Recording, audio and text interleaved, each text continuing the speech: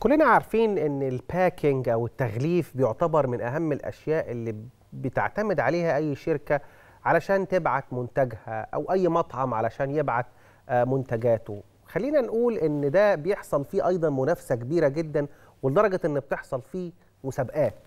على سبيل المثال طلاب كلية الفنون التطبيقية في جامعة حلوان حصدوا عدد كبير من الجوائز وحصدوا أيضا مراكز أولى في مسابقة التصميم الدولية. المسابقة دي كان اسمها Arab StarPack والمسابقة دي زي ما إحنا قلنا آه، كانت مخصصة للتغليف. هذه المسابقة شارك فيها حوالي 800 طالب من جميع كليات آه، الفنون والتصميم في عدد كبير من الدول العربية.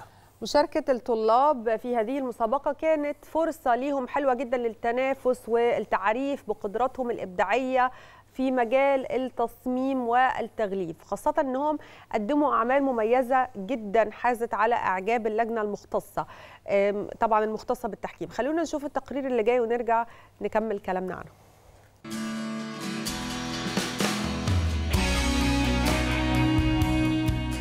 طلاب كلية الفنون التطبيقية بجامعة حلوان حصدوا عدة جوائز ومراكز أولى بمسابقة التصميم الدولية أرب ستار باك للتغليف. والتي شارك فيها 800 طالب من جميع كليات الفنون والتصميم في الدول العربية. وتصدرت في المقدمة الطالبة جولي حنا بقسم الإعلان وفازت بالمركز الأول في مسابقة التصميم البنائي للعبوة. وفاز الطالب عبد الرحمن عمرو عباس بالمركز الثاني في مسابقة التصميم البنائي للعبوة. كما فازت الطالبة بسمة جمال بالمركز الثاني في مجال التصميم الجرافيكي للعبوة. وأيضا تمكنت الطالبة صفوة جمال بالفوز بالمركز الثالث في مجال التصميم الجرافيكي للعبوة. وفازت الطالبة مروة علي بالمركز الثالث مكرر في مجال التصميم الجرافيكي للعبوة.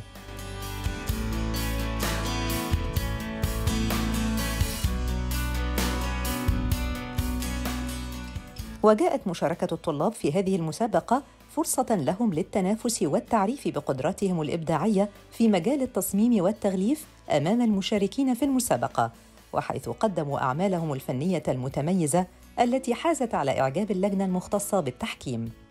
واعتبرت جامعة حلوان فوز طلاب كلية الفنون التطبيقية الفائزين في مسابقة التصميم الدولية للتغليف تأكيداً على ريادة الجامعة في دعم الفنون وتعزيز دورها في تكوين جيل من الفنانين والمصممين المبدعين والمتميزين في مجال التغليف.